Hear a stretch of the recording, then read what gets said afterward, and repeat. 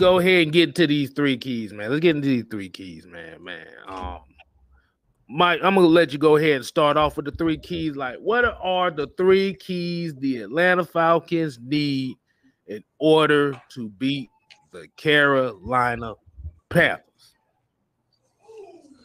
Um, I literally have nothing wrote down, so this is going to be right off the top and just based on Carolina's history this um this season.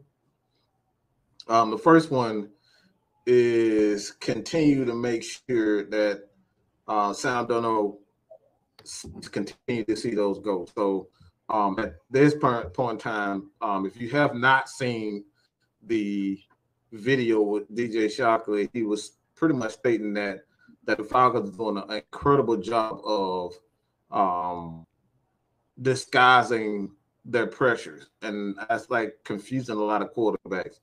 Um, if you continue that, I think you'll get a couple of at least two opportunities to get interceptions off Sam Darnold. Because like like K said, the dude is seeing ghosts right now. So you continue to disguise the blitzes, disguise your pressure. Um, two, uh, right now, I think what Arthur Smith is doing with uh, Cordarrelle Patterson is continue to use him as just a Swiss Army knife and just use him in different spots. So he's the focal point of the offense. Is is is weird to say that, and that you have a guy like uh, you know, Kyle Pitts, Kyle, Calvin Ridley. Right now, like he's the most he's the most dangerous threat until Calvin Ridley kind of come back around. He's the most dangerous threat on threat on offense. So continue to get him the ball, feed him more.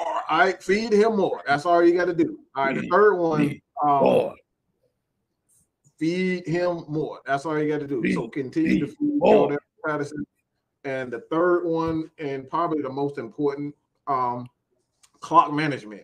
We got to continue our great clock management and how we.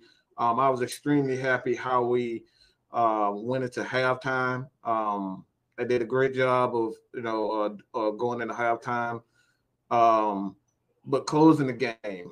Um, I, I, stated early in this season that it was highly controversial because a lot of people um, just felt like he should have been more aggressive.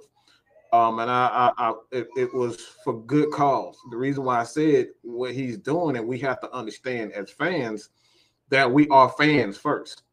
Um, but we got to put our fandom aside because what really wins games is the small, intricate details of football, clock management, being able to run the ball and establish the run. So, like what the Falcons, if you didn't hear the commentary with Moose Johnson, that's why I love Moose Johnson. He, he pretty much said that during the game is like even if you're not getting five yards, six yards a pop, just the threat of running the ball on first down in itself is going to open up everything. And Matt Ryan, just that threat of the run, you know you're gonna run the ball, even if you get two.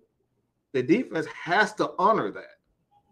So later on in the game, when you're doing that same play action of the same formations, guess what?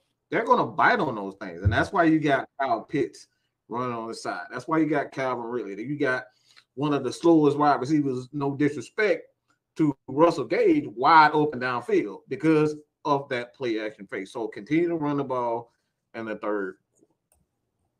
And um, yeah, continue to run the ball so you can open up play action.